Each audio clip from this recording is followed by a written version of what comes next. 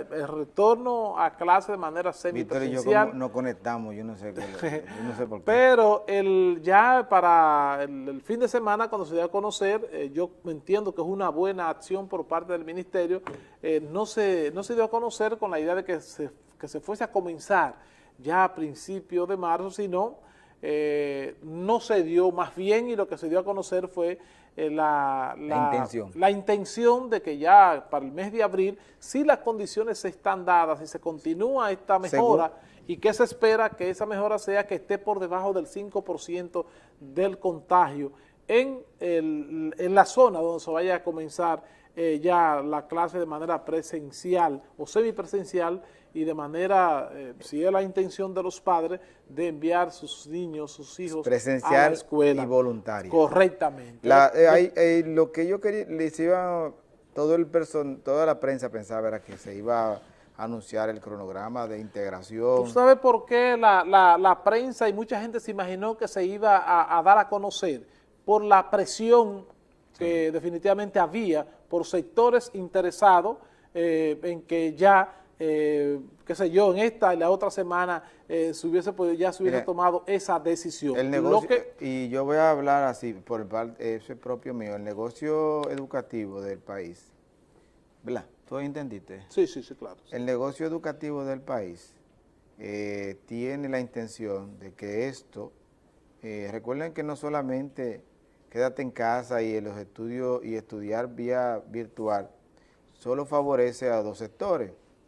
El, sector del gobierno que está dando el servicio y el otro sector que se está quedando con el pastel de la...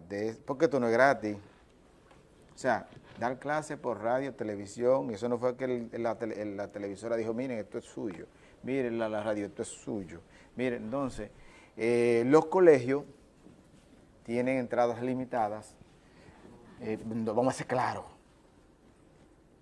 Entonces hay, esa presión de la vuelta a clase. Aunque yo nunca he estado en, en, eh, en, una etapa de la pandemia, sí estaba en contra de que haya una clase presencial, pero hace mucho, hace mucho que se podrían dar las, las, la, la situación de, dar la clase, por la sencilla razón la gran mayoría del proceso de, infector, de infectado, moro y mortalidad, están en los sitios más poblados.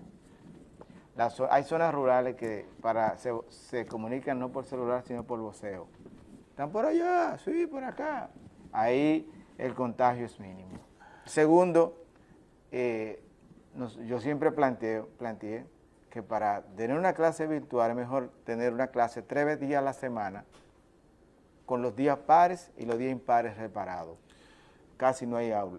se dividen así. Siempre he dicho eso. El, asunto es serio que... Yo no sé si se me hagan caso y lo hagan así, pero si usted le da clase lunes, miércoles y viernes a los pares, y martes, jueves y sábado los impares, usted tiene una población reducida. Bueno, el, asunto es que todavía cuando ¿Mm? se dé a conocer el protocolo que va a utilizar a partir del día 6 de abril de educación, pues se sabrá, pero yo entiendo, yo aplaudo desde aquí la decisión porque tienen que estar las condiciones dadas, pero la lectura que le doy es que no, educación no se dejó presionar ante esa situación y va a esperar que pase un poquito. Por ejemplo, si según la información que se suministra, se habla de que solo Independencia, eh, Monteplata, eh, hay muchas zonas, y tres eh. municipios, tres municipios reúnen las condiciones que la, la el contagio está por debajo del 5%. Entonces, hay que esperar, hay que esperar eh, Santiago, el, Santiago, la capital, San Francisco Macorís, La Vega. Óyeme.